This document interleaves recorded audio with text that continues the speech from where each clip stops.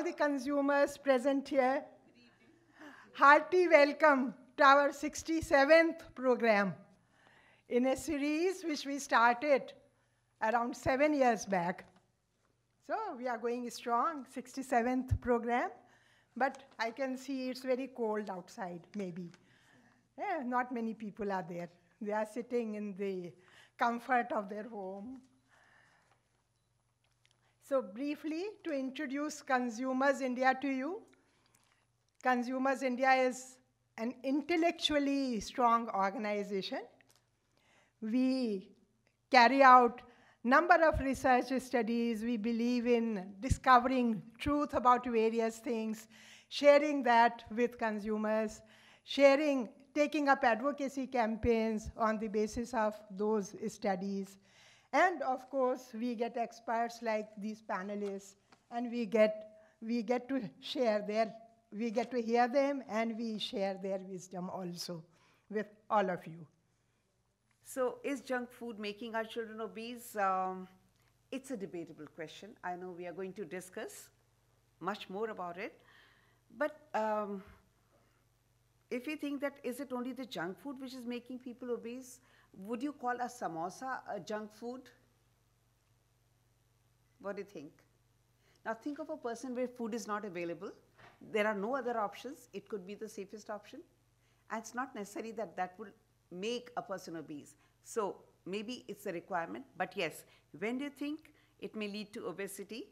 Okay, uh, the observations which have been made, uh, the number of overweight or obese infants and young children aged 0 to 5 years increased from 32 million globally in 1990 to 41 million in 2016. So I think uh, there is something wrong uh, that is uh, a, a, kind of food which could have kept us active, alert, but it is leading to obesity. Uh, what are these factors? We are going to discuss that. Is it uh, lack of physical activity? Um, okay, maybe too many facilities available, not much moving around, or uh, students, children being dropped at the, at the gate of the school, Okay, and uh, it is also noticed that vast majority of overweight or obese children live, uh, live in developing countries where the rate of increase has been more than 30% higher than that of developed countries. Definition of junk food is a very tricky thing, and as I just said, that even the courts have not been able to define because while organizations like the Consumer Society are trying to say get rid of junk food, but they're not able to define what is junk food. It is really very difficult. Which particular dish is junk? Very difficult. And um, we'll come to more problems related to this. So I, I do not belong to the consumer society. I am a school principal. And I see the problem as something much deeper than just food. So I'd like to just break it up into two things. The problem is not just food, as just pointed out, it's lifestyle, it's academic work or pressure. Let's not forget the lives that the children are leading and whether they are little children, where the parents are compelling them to go for piano classes at this class and that class, or the senior children, you are young students over here, you know the pressures you have lived with, where is the time? So it's lifestyle, it's academic pressures, then those pressures actually cause you stress, and again, stress is related to obesity too. So let's just not shoot the messenger. Definitely junk food, it is, it's, uh, it's common knowledge that junk food is bad for us, that we know. But what else is impacting that? What else is causing obesity? There are two keywords here, junk food and obesity. So while we know that junk food is bad, obesity may have many reasons. We come back to medical issues. Technically, even the human body, whether the junk food is the cause of hormonal disturbances or whether you have hormonal disturbances which are causing obesity. So as I have just written here, do not shoot the messenger. And here's where it gets really, really surprising. When we surveyed parents and we asked them, uh, are your child's uh, eating habits healthy? Over 60% of the parents said that their child's eating habits are not healthy. Over 22% down, upright, uprightly said that their child's eating habits were unhealthy.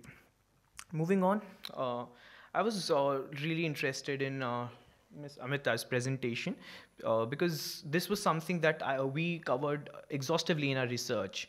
So um, the FSSAI had to make draft regulations uh, based on a PIL by Uday Foundation in order to ban junk food in the vicinity of schools and in schools as well, and for the schools to implement a proper canteen policy. But did that happen? A survey by Delhi Commission for Protection of Child's Rights, DCPCR, very recently came out with a study. They surveyed over 10 schools, and none of the schools had a proper canteen policy in place, and none of the schools were conforming to the regulations. And to just define junk food, of course, it's very difficult to define junk food, but having prepared over a, over 100 pages of text on the same subject what one common definition of junk food that we could define it's hfss that is a high in fats salts and sugars. That's what we define uh, as junk food. So if anything be it a samosa a chole bhature a, a vada a pakoda a pizza or a burger if it's high in fat high in salt high in sugar it's junk. Now, another thing which I am worried about is the advertisements. Advertisements, I'd like to show two or three slides before I. hmm. Just look at this. Just uh, concentrate on the word calcium and flavonoids. I think the B is wrong, maybe it's flavonoids.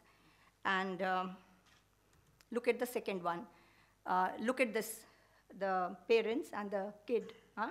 junk. Let's give our kids a healthy future. See, mom, normal people get to eat these tasty snacks five times an hour. Maggi, as you uh, just said, ki Maggi is the. Uh, look at the word atta. Huh? Atta goodness. I'll just uh, talk about it. Rotis, just mind these words, rotis. Huh? Then the fruits are shown and health, huh? health, and it is the Tropicana. Then restaurant like soup at home, right? Look at this, donuts. Do you know donuts, how, how they are made? They are fried. The worst food. What is written there? Vitamin donuts, right? Look at this, Teddy Graham's chocolate. Calcium, iron, zinc, right? Now my problem is, these, uh, these days that the uh, advertisements have totally, the way they advertise are totally changed. They give you a very good story. You know, sometimes the papers are full with half page advertisements. They're going to give you real facts, real.